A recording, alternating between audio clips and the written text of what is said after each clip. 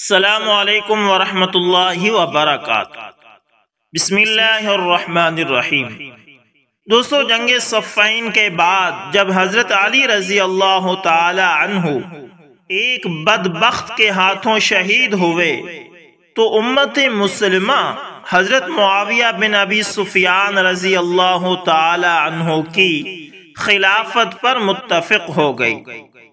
हज़रत अली रज़ी अल्लाह तु के बेटे मोहम्मद बिन हनफिया ताला ने भी उस वक्त बहुत ही ज़्यादा समझदारी से और सब्र से काम लिया ताकि मुसलमानों में इतिहाद पैदा हो जाए और इख्तिलाफात दूर हो जाए।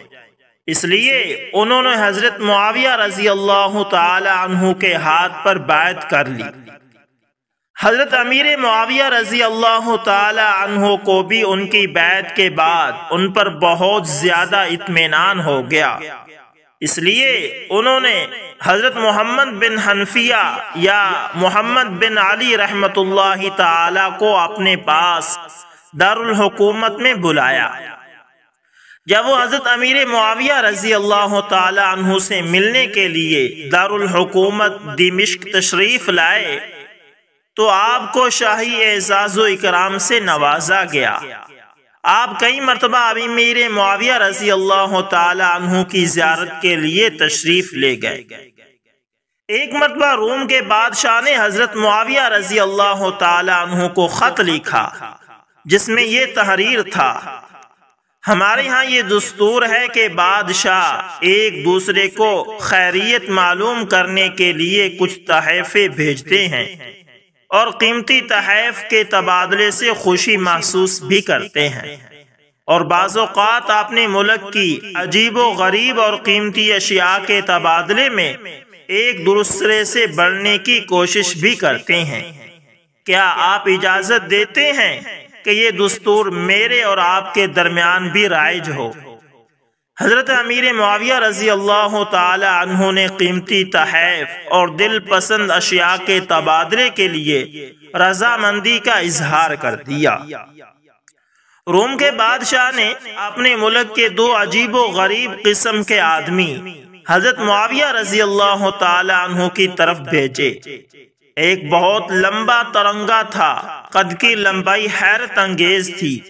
यूँ मालूम होता जैसे जंगल में एक इंतहाई लंबा दरख्त खड़ा है या कोई ऊँचा मीनार है। दूसरा बहुत ज़्यादा ताकतवर था। उसे देखकर यूँ यूँ मालूम होता जैसे कोई चीर फाड़ करने वाला दरिंदा खड़ा हुआ हो।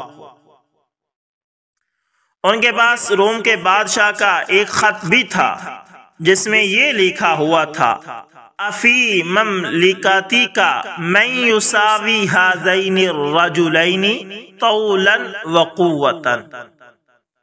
क्या आपके मुल्क में लंबाई और ताकत के लिहाज से इन जैसा कोई शख्स है?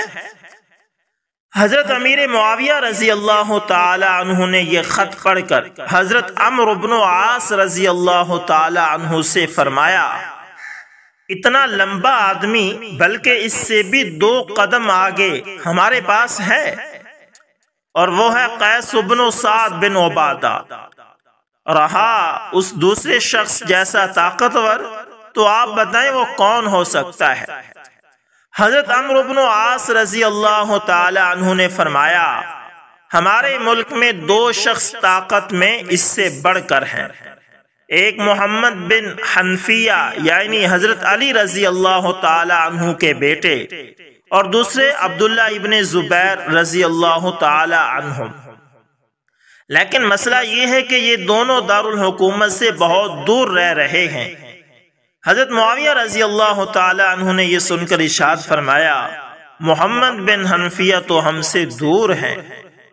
हज़रत अमर आस रज़ी अल्लाह तु ने कहा क्या ख्याल है अमीर वो अपने मर्तबे और मकाम के एतबार से लोगों के सामने एक रोमी शख्स के साथ कुश्ती लड़ने के लिए तैयार भी हो जाएँगे? हज़रत अमीर मुआविया रज़ी अल्लाह ने इरशाद फरमाया हाँ इस्लाम की इज़्ज़त की खातिर वो इसके लिए तैयार हो जाएँगे। फिर हज़रत मुआविया रज़ी अल्लाह तु ने हज़रत कैसुबन साद और हज़रत मोहम्मद बिन हनफिया रहीमहुल्लाह ताला को बुलाया। जब मुकाबले के लिए मजलिस मुनद की गई तो हज़रत कैसुबन साद रहीमहुल्लाह ताला ने धोती बांधकर पाजामा उतारा और उस रोमी शख्स के सामने फेंक दिया। जिसका मतलब ये था कि इस पैजामे से ही अपना कद नाप लो। अगर हिम्मत है तो मुकाबले के लिए तैयार हो जाओ। पजामा फेंकने के बाद उससे कहा ये पहनो। उसने पजामा पहना जो उसके गले तक पहुँच गया। अहले मजलिस ये मंजर देखकर हंस दिए। हज़रत कैसुबन साद रहीमहुल्लाह ताला का कद उससे कई ज़्यादा लंबा था। रोमी ये देखकर बहुत शर्मिंदा हुआ। और फिर हज़रत मोहम्मद बिन हनफिया रहमत ताला ने अपने तर्जुमान से कहा इंशाजलिसा व अकून अना कायम सुम्मा योतीनी यादा हो ये शख्स जो मेरे मुकाबले के लिए आया हुआ है, यानी इस रोमी से कहो। अगर वो चाहे तो बैठ जाए और मैं खड़ा रहूँ, और वो अपना हाथ मेरे हाथ में दे दे।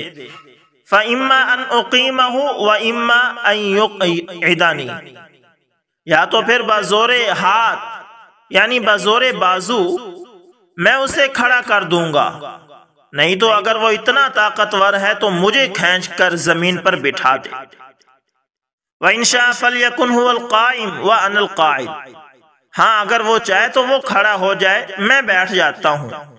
इस सूरत में वो मुझे खड़ा करे और मैं उसको बिठाऊँगा। जिसने खड़ा कर लिया, अगर उसने मुझे खड़ा कर लिया तो वो जीत गया। और अगर मैंने उसे खींच कर बिठा दिया तो मैं जीत गया। इस तरह हम दोनों अपनी ताकत का मुजाहरा भी कर लेंगे। तो फिर रोमी ने बैठने को तरजीह दी। हज़रत मोहम्मद बिन हनफिया रहमत ताला ने उसका हाथ पकड़ा और उसे आने वाहिद, यानी एक ही झटके में ज़मीन से ऊपर खड़ा कर दिया। लेकिन रोमी हज़रत मोहम्मद बिन हनफिया रहमत ताला को बिठाने में नाकाम रहा। रोमी के सीने में कौमी गैरत उभर गई।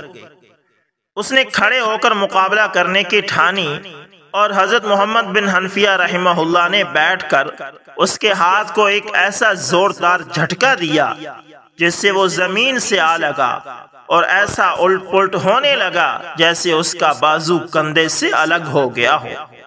मुकाबला खत्म हो गया।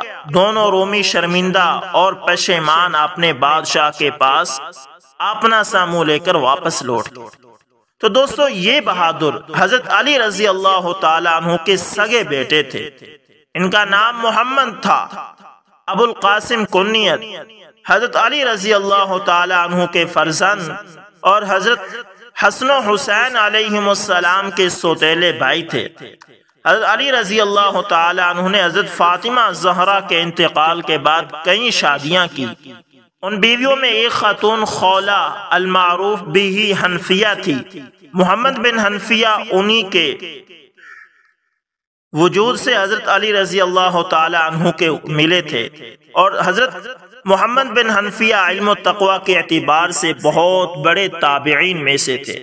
तो दोस्तों, ये थी आज की कहानी जो हमने आपके गोशे गुजार रखी है कि हमारे बड़े इस तरह इस्लाम के लिए अपने तन, मन, धन सब कुछ को कुर्बान कर देते थे। अगर इस्लाम के इज़्ज़त के खातिर उन्हें कुश्ती भी लड़नी पड़ती थी तो वो इससे भी ग्रेज नहीं करते थे। उन्होंने हर तरीका अपनाकर इस्लाम को फैलाने की कोशिश की। उम्मीद करता हूँ वीडियो अच्छी लगी होगी, पसंद आए तो लाइक शेयर कमेंट लाजमी करें। और अगर आप हमारे channel A S information TV पर नए हैं तो इसको लाजमी सब्सक्राइब करें। और साथ में बेल के निशान को दबाना ना भूलिएगा, ताकि हर नई वीडियो का नोटिफिकेशन सबसे पहले आप तक पहुँचते रहे। मिलते हैं दोस्तों किसी नेक्स्ट अच्छी सी वीडियो के अंदर, तब तक लिए अल्लाह हाफिज।